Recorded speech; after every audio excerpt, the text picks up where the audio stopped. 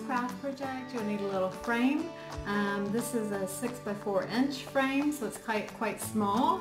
And you can just glue your buttons and decorate around the frame, or you can make some sort of scene out of buttons, of flowers, of butterflies to go in the frame.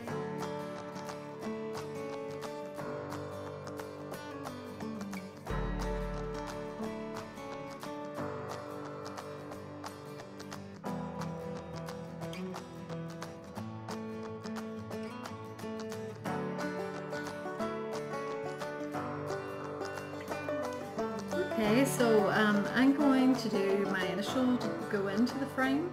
So, so I've cut out a nice piece of decorative card paper, 6 by 4 inches, the same size as my frame, and I'm putting that in as a backdrop since I'm doing my initial in buttons to go into my frame, and I'm going to hang that on the wall.